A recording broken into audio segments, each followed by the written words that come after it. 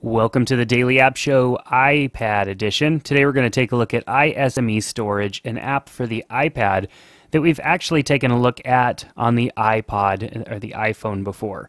This is a great application for those of you who like to bring a lot of files along with you, but obviously are limited to the restraints of the device that you have, the size of the device. You know, on the iPhone, 32 gigabytes, on the iPad, even 64 gigabytes. Maybe you didn't want to spend several extra hundred dollars on a 64 gigabyte iPad and you just have the entry level iPad. That is totally fine with an app like this because you can store all of your data off site, which makes it really nice. You can use multiple cloud systems like Amazon S3 server, lots of different cloud providers we can tap right here and we can add from any of these cloud providers, whether it be our Gmail, our SkyDrive with MSN, our iDisk with MobileMe, Google Docs, a WebDAV, Amazon S3, Live Mesh, another version of SkyDrive it looks like here, and uh, SME storage with Amazon. So we can also add additional cloud providers here with our data information. Just we log in simply with our information. We even have Box.net uh, and Live Mesh, some other ones to add to the list as well.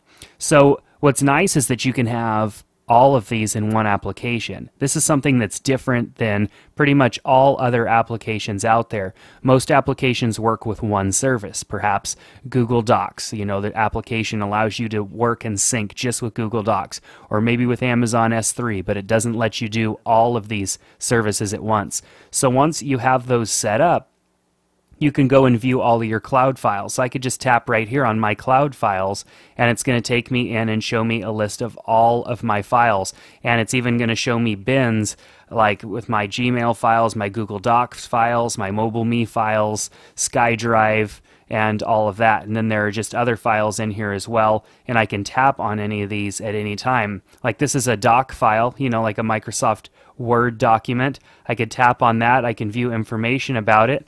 I can open it, download it to my device. I could send a link to it to somebody else so that they can download it. I can share it. I can add it or remove it to my favorites, make it public, add it to my clipboard so many different things that I can do with my data on in, in this application. So let's just tap open. It's going to go ahead and download this. You can see it's a 167 kilobyte file, which isn't big, but it isn't tiny either. So it may take a second for it to download and then open. So what it's going to do is offer me solutions for opening this file as soon as it continues and finishes downloading it. So we're just waiting here for a second for it to download and then we'll have the option to open it up in an application on our iPad device. So this works really well. It doesn't only work with just doc files, it works with, uh, of course, pretty much any file. You do need some special applications to open it. Like in this instance, we can open it in SME storage, and that's the only application that I have on my iPad that would open this file. So now I can view and read this Word document. Very easy Word document of course, that's pretty simple. So what about other files like .avi movies or uh, of course, you know, we have audio files and PNG images and different stuff like that. We can do and open those in this application. And of course, if it's a file that's not supported by this application, you would just need another app on your iPad that, of course, could open that file. You know, so if it was like a specialty type file that typically wouldn't be able to be opened in uh, most applications. So all of these different sections here, very easy to, of course, get our files in and out of those. So we also can create cloud memos, cloud voice memos. We can view all of our shared files. See, all we have to do is tap right here and we can record a new voice memo right into the application and share that on our server and then send that to people. We can remote file upload, which means that from our computer, we can upload files right into our cloud system as well, so that that way we have all of these files available. I have a cloud system that I use, a service that I use where I can access all of the files that I need, like client contracts, different things like that. When I'm out and about, I can just pull them up at any time and have that all right here. There are background tasks now available in this application. Of course, we can empty the trash here if we have trash items, and it will go ahead and do this uh, in the background. Grouping things together is really easy across multiple cloud solutions.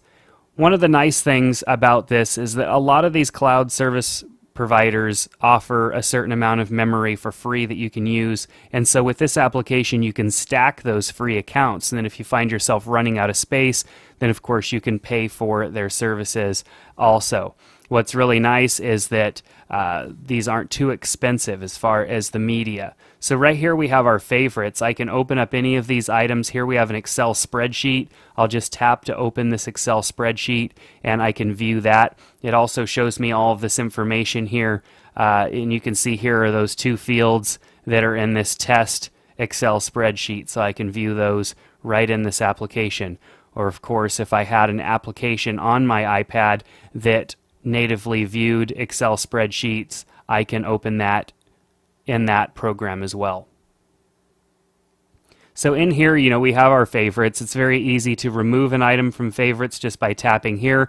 If we go back, then you'll see that this item is no longer in blue. Uh, it is not a favorited item anymore, and it will be removed from this section. We can also store files locally because, of course, we're not always connected to an internet connection with our iPad. So, if you know you're going to need some files uh, and you're not going to be connected to the internet, you can always download those files into your device here and then save those. And of course, we can create folders and organize our local files right here. And then when we're done, we can, of course, remove them from our local storage and free up space on our iPad so that we have more space for our music and movies and everything else.